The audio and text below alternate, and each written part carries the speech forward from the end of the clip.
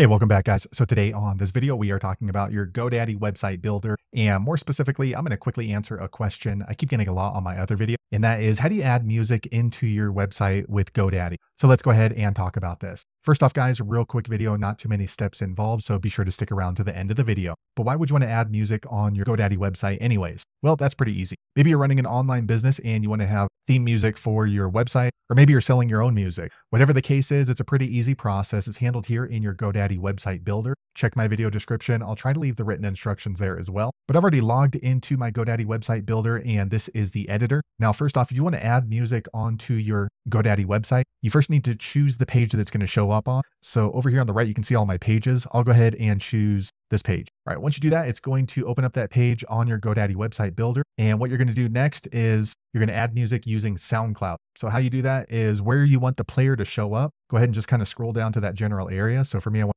towards the bottom. And then next you want to click on this little plus icon. It's called add section. Once you do that, you're going to see this pop up here on the right. And you just want to scroll down until you see audio and video. And once you click on it, it's going to open up and you want to click on audio. Okay, now you can see when you're adding music onto your GoDaddy website, it's going to be through SoundCloud. So you want to go ahead and choose which one of these you want. So this one is just a player right here in the middle. If you want to go ahead and have some text next to it, you can go ahead and choose this one. That way the player is on the right and the text will be on the left. For me, I just want to put the player. So I'm going to click on add. Okay, guys. So here is where you can go ahead and add music into your GoDaddy website. All you're going to do is just click on this section. Once you click on the section, you're going to see this pop up here on the right. And this is where you can go ahead and add the music. So what you're going to need to do now is you have to go to SoundCloud and then you need to get the embed code for the sound or song that you want to add in. So let me go ahead and open up my SoundCloud. Okay, guys, so I went ahead and opened my SoundCloud, and this is an artist. that's name is Jordy Edmonds. I'm going to go ahead and add his music into my GoDaddy website. So all you're going to do is just scroll down until you find the song that you want to play on your website.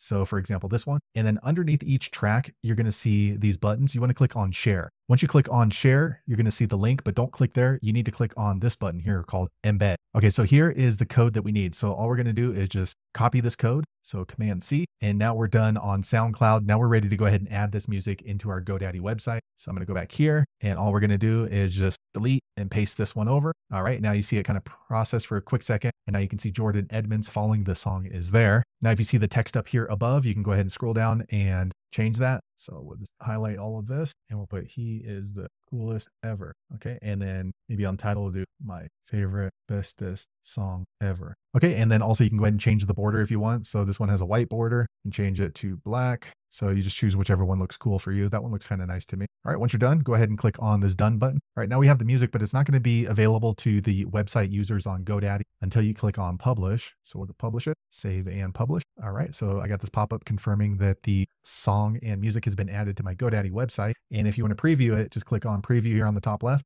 Okay, so here is the web page. We'll scroll down and as you can see, my music is right here. So there you have it, guys. If you're wondering how to add music into your GoDaddy website builder, that's the easiest way I know how to do it. If you know an easier way, be sure to leave a comment below. Let the rest of us know how you did it. Hopefully you found that video useful. If so, click thumbs up or maybe consider subscribing to my channel and I hope to see you on the next video. Thanks again for watching.